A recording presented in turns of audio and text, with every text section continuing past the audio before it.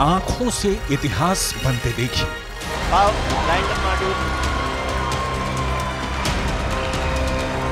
गड़गड़ाहट सकते हैं कि आप अपनी स्क्रीन पे देख सकते हैं चाँद के जिस हिस्से पर कोई नहीं पहुँच पाया वहाँ अब भारत पहुँच गया है।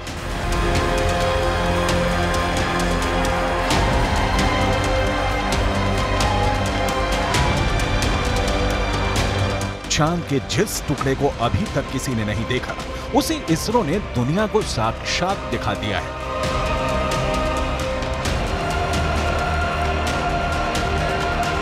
यह मुमकिन हो सका है चंद्रयान थ्री के चाँद के दक्षिणी ध्रुव पर सॉफ्ट लैंडिंग से।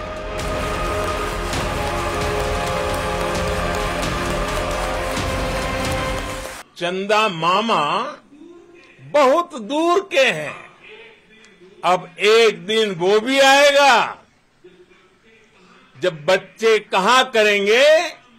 चंदा मामा, बस, एक टूर के हैं। अद्भुत।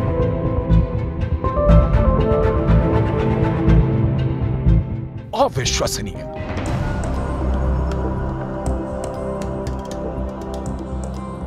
अकल्पनीय।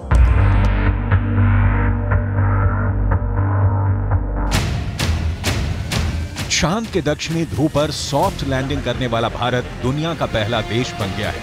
चंद्रमा के दक्षिणी ध्रुव पर भारत की अमिट छाप छोड़कर भारत का चंद्रयान थ्री ने वर्ल्ड रिकॉर्ड बना दिया है। चाँद के दक्षिणी ध्रुव पर उतरकर उसके दीदार करने का सपना। ऐसे तो दुनिया के सभी बड़े बड़े देश देख रहे थे, लेकिन जीत का सेहरा भारत के सिर सजा है।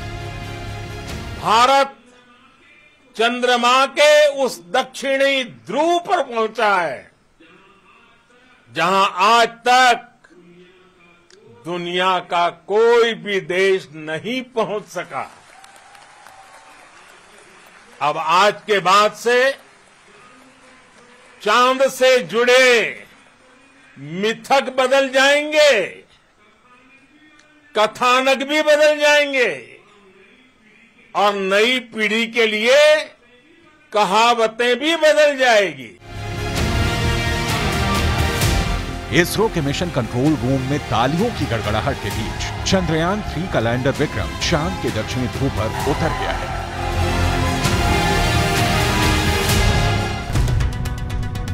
इसरो के मुताबिक चंद्रयान थ्री के तीन अहम मकसद हैं। पहला, विक्रम लैंडर की चाँद के दक्षिणी सतह पर सुरक्षित और सॉफ्ट लैंडिंग। दूसरा, प्रज्ञान रोवर को चाँद की सतह पर चलाकर दिखाना। तीसरा वैज्ञानिक परीक्षण करना।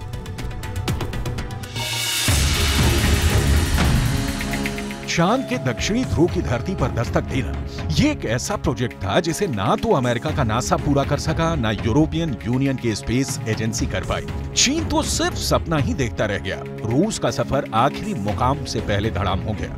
लेकिन भारत का चंद्र मिशन अब विश्व विजयी अभियान बनकर सामने आया है।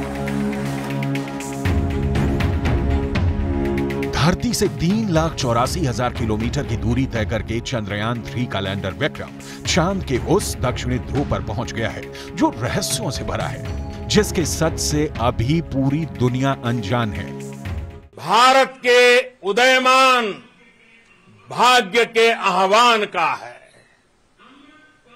अमृत काल की प्रथम प्रभा में सफलता की ये अमृत वर्षा हुई है।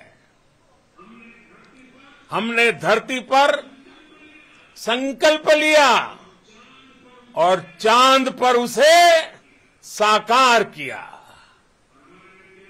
और हमारे वैज्ञानिक साथियों ने भी कहा, India is now on the moon. आज हम अंतरिक्ष में नए भारत की नई उड़ान के साक्षी बने हैं। नासा का दावा है कि चाँद के दक्षिणी ध्रुव पर बर्फ़ है। कई तरह के प्राकृतिक संसाधन भी हो सकते हैं, लेकिन दुनिया अब तक हकीकत से वाकिफ नहीं है।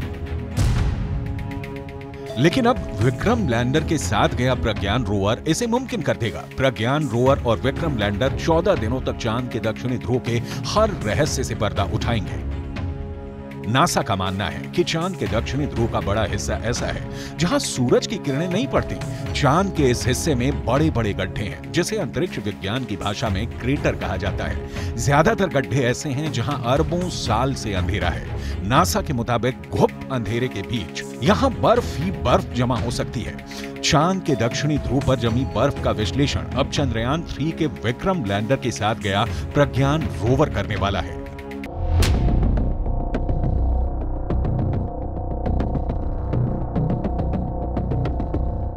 प्रज्ञान रोवर एपीएक्सएस से लैस है। एपीएक्सएस यानी alpha particle X-ray spectrometer APXS चंद्रमा की सतह की मौलिक संरचना की जानकारी जुटाएगा। ये चाँद की सतह पर केमिकल और मिनरल का अध्ययन करेगा। वो चंद्रमा के दक्षिणी ध्रुव की सतह की रासायनिक संरचना का पता लगाएगा। वहीं रोवर में लगा लिप्स यानी laser induce breakdown spectroscope landing site के आसपास की चाँद की मिट्टी और चट्टानों में मैग्नीशियम और एल्यूमिनियम जैसे रासायनिक तत्व किस अनुपात में मौजूद है, इसका विश्लेषण करेगा। रोवर जो डेटा इकट्ठा करेगा, उसे लैंडर के पास भेजेगा। लैंडर उसे प्रोपल्शन मॉड्यूल के पास भेजेगा। प्रोपेल्शन मॉड्यूल में एस बैंड ट्रांसपोंडर भी लगा है, जिसका सीधा संपर्क इंडियन डीप स्पेस नेटवर्क के पास रहेगा। यानी जो सिग्नल लैंडर रोवर से मिलेगा, उसे एस बैंड ट्रांसपोंडर भारत को भेजेगा। प्रज्ञान के काम की शुरुआत लेजर बीम के साथ होगी। लेजर बीम की मदद से रोवर चंद्रमा की सतह के एक टुकड़े को पिघला देगा। इस प्रक्रिया में मौके से जो गैसें निकलेंगी रोवर उन गैसों का विश्लेषण करेगा। अंदाज़ा ये भी है कि चाँद के दक्षिणी ध्रुव पर अरबों सालों से पानी बर्फ़ के रूप में जमा हो सकता है। अगर चंद्रयान थ्री के रोवर ने इसकी पुष्टि कर दी तो चंद्रमा पर जीवन की संभावनाओं से जुड़े सटीक संकेत मिल सकते हैं। अगर संकेत सकारात्मक रहे तो चाँद पर इंसानों की बस्ती बसाने का सपना भी साकार हो सकता है। बड़ा सवाल है, चाँद पर कैसे बसेगी इंसानों की बस्ती? चाँद पर बसे शहर का नज़ारा कैसा दिखेगा? क्या चाँद की ज़मीन पर भी धरती जैसी फ़सल लहराएगी?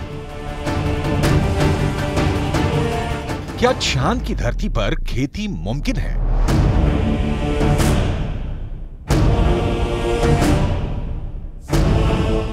विज्ञान कहता है कि चाँद पर अभी इंसानों के रहने लायक वातावरण नहीं है, लेकिन नासा का कहना है कि आने वाले वक्त में चंद्रमा की धरती को रहने लायक बनाया जा सकता है। लेकिन दावे के मुताबिक चाँद पर बसने वाली बस्ती नहीं होगी सस्ती। अंतरिक्ष में चंद्रमा धरती का सबसे करीबी पड़ोसी पिंड है। पिछले छह दशकों में इंसानों ने सौ से भी अधिक मून मिशन को अंजाम दिया है। सभी मिशन को कामयाबी नहीं मिली। लेकिन इन मिशन ने चाँद को सबसे ज़्यादा खोजा जाने वाला स्थान बना दिया और अब चंद्रमा पर जीवन की संभावनाओं की तलाश हो रही है।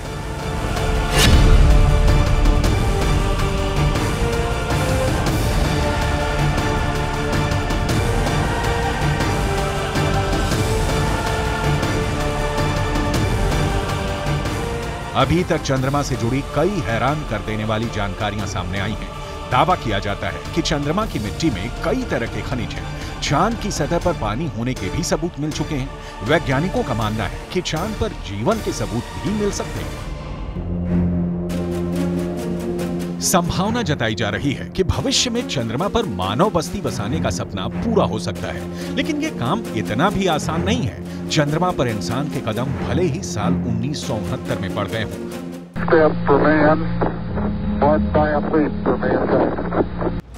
लेकिन कड़वी सच्चाई ये भी है कि 1972 के बाद से किसी भी अंतरिक्ष यात्री ने चाँद पर कदम नहीं रखा।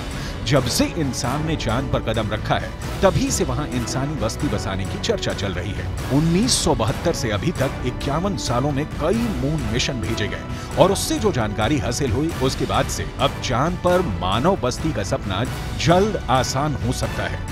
लेकिन ये बहुत अधिक खर्चीला भी हो सकता है।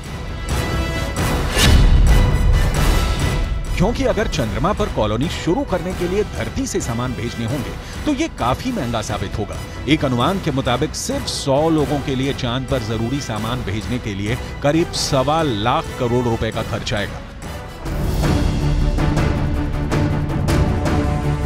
ऐसे में अगर चाँद पर इंसान को रहने लायक बस्ती बसानी है तो सबसे पहले रोटी, कपड़ा और मकान जैसी बुनियादी जरूरतों को पूरा करना होगा। जिसमें सांस लेने के लिए हवा, पीने के लिए पानी, पेट भरने के लिए खाना, हवा के दबाव से लैस रहने लायक जगह और रोशनी के लिए बिजली ज़रूरी होगी। दावा है कि इनमें से ज़्यादातर जरूरतों को चाँद से ही पूरा किया जा सकता है। चंद्रयान वन की मदद से चाँद पर पानी होने की पुष्टि हो चुकी है। पानी की खोज के बाद इसरो अब चाँद पर जमी बर्फ़ का विश्लेषण करने में जुटा है। चाँद की सतह की बनावट को समझने में लगा है। नासा के मुताबिक चाँद के दक्षिणी ध्रुव पर बर्फ़ है। बर्फ़ के साथ साथ वहाँ दूसरे प्राकृतिक संसाधन भी हो सकते हैं। साल उन्नीस में नासा ने मून मिशन के तहत ये बताया था कि दक्षिणी ध्रुव पर हाइड्रोजन है। नासा का दावा है कि अधिक मात्रा में हाइड्रोजन होने की वजह से वहाँ बर्फ़ होने की संभावना है। इसके अलावा चाँद के दक्षिणी ध्रुव पर बड़े बड़े पहाड़ और कई गड्ढे हैं। ज़्यादातर गड्ढे ऐसे हैं जहाँ अरबों साल से अंधेरा है। अमेरिका के नासा के मुताबिक घुप अंधेरे के बीच यहाँ बर्फ़ का जमाव हो सकता है। अंदाज़ा यह भी है कि चाँद के दक्षिणी ध्रुव पर अरबों सालों से पानी बर्फ़ के रूप में जमा हो सकता है। अगर चंद्रयान थ्री का लैंडर और रोअर चाँद पर बर्फ़ की मौजूदगी की पुष्टि कर देते हैं तो वहाँ मानव बस्ती बसाने की संभावना और बढ़ जाएगी। हालाँकि इससे पहले भी चंद्रमा की सतह पर पानी होने के संकेत मिले थे। चाँद के छाया में रहने वाले हिस्से में पानी के होने के संकेत मिल चुके हैं। वैज्ञानिकों को चाँद के उस हिस्से में पानी होने के साक्ष्य भी मिले हैं, जहाँ सूर्य का सीधा प्रकाश पड़ता है। ऐसे में अगर चंद्रयान थ्री चाँद के दक्षिणी ध्रुव पर पर्याप्त बर्फ़ होने की पुष्टि कर देता है तो चाँद की सतह पर मौजूद बर्फीले पानी से इंसानों की बस्ती और चंद्रमा पर अर्थव्यवस्था के लिए आधार को तैयार करने में मददगार साबित हो सकती है आइए, रसायन विज्ञान की भाषा में समझ लेते हैं कि ये कैसे मुमकिन हो सकता है रसायन विज्ञान में बर्फीले पानी का रासायनिक सूत्र होता है H2O। पानी एक एक अणु में हाइड्रोजन और ऑक्सीजन दो एक के अनुपात में मौजूद होता है, यानी पानी के एक अणु को हाइड्रोजन और ऑक्सीजन में तोड़ा जा सकता है। H2O equals H2 plus O2 यानी पानी की मौजूदगी में चाँद पर सांस लेने के लिए ऑक्सीजन बनाना आसान है। वहीं पानी से हाइड्रोजन और ऑक्सीजन को अलग करके ईंधन के तौर पर इस्तेमाल कर सकेंगे। साथ ही साथ पानी से चाँद पर बिजली भी तैयार की जा सकती है। साफ़ है चाँद पर मौजूद पानी कई समस्याओं का समाधान हो सकता है। पानी के इस्तेमाल से सिंचाई के लिए खेती का काम भी आसान किया जा सकता है, क्योंकि चाँद पर इंसानों की बस्ती को लेकर रिसर्च कर रहे वैज्ञानिकों को तब बड़ी कामयाबी मिली थी, जब चाँद की मिट्टी में पौधे उगाए गए। अपोलो 11 मिशन के दौरान करीब 22 किलो सामान चंद्रमा से लाया गया था। इसमें तकरीबन 50 चाँद के चट्टानों के टुकड़े और चाँद की मिट्टी शामिल थी। शोधकर्ताओं को इस बात का बिल्कुल भी अंदाज़ा नहीं था कि चाँद की धूल भरी मिट्टी में कुछ उग भी सकता है या नहीं। उन्होंने इसे एक प्रयोग के तौर पर लिया कि अगर अगली पीढ़ी में कोई चाँद पर जाता है तो वहाँ पर कुछ उगा सकता है, जो नतीजे सामने आए। उसने वैज्ञानिकों को चौंका दिया। ऐसे में अगर चाँद के दक्षिणी ध्रुव पर पर्याप्त मात्रा में पानी नहीं मिलता तो चाँद पर बस्ती बसाने का सपना अधर में लटक सकता है। यानी चाँद पर सस्ती बस्ती बसाने में चंद्रयान थ्री बहुत बड़ा रोल निभाने वाला है, जिसकी शुरुआत चंद्रमा के दक्षिणी ध्रुव पर भारत के धमाकेदार दस्तक के साथ हो चुकी है।